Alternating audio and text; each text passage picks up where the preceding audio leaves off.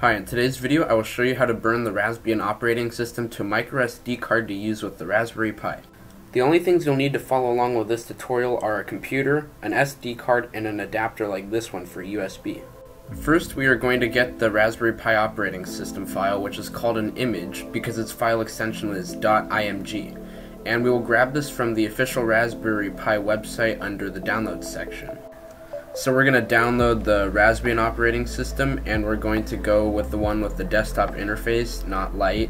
Lite is command line only and we don't want that. I'm just going to save the file and after it's done downloading you can just drag it to your desktop or wherever. Just remember where you put the file. Next we're going to head over to the 7-Zip website to download their utility. Uh, depending on what version operating system you're using, you're going to select 32 or 64-bit. Just to be safe, you should go with 32-bit if you don't know, but I'm going to go with 64-bit because I know that's what I'm running. Just launch and run the installer once it finishes downloading and everything should be pretty easily configured.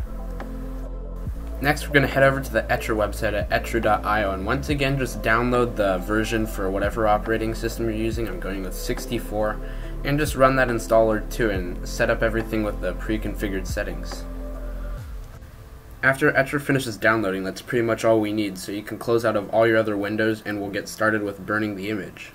First hover over, then right click on the Raspbian operating system folder that you downloaded before, and select 7-zip then extract here, which should create a small disk image icon on your desktop or wherever you saved it to. At this point you can just delete the old folder that you downloaded because we won't be needing that anymore. And then just launch up the Etcher utility. At this point mount and plug in your SD card into your computer. I should note that your SD card should be at least 8 gigabytes of space. Next, over on Etcher, hit Select Image and choose the disk image file that you extracted previously with 7-zip, which is on your desktop or wherever you chose to save it to. Next, under the drive, select the microSD card that you plugged in. Your card should be empty and formatted to FAT32 or something similar, but that doesn't really matter as it'll clear it anyways. So you can just continue and then once finished just hit flash.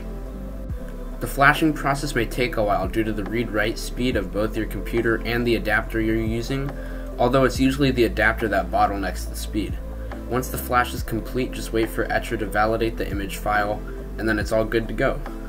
That's all there is for the flashing process, and this works for all the operating systems for Raspberry Pi like Kali Linux, Ubuntu, and RetroPie. All you have to do now is just plug the SD card in your Raspberry Pi, power it up, plug in HDMI to monitor, and you are ready to go. Let me know if this works for you and feel free to ask any questions below in the comments, and thank you for watching this video.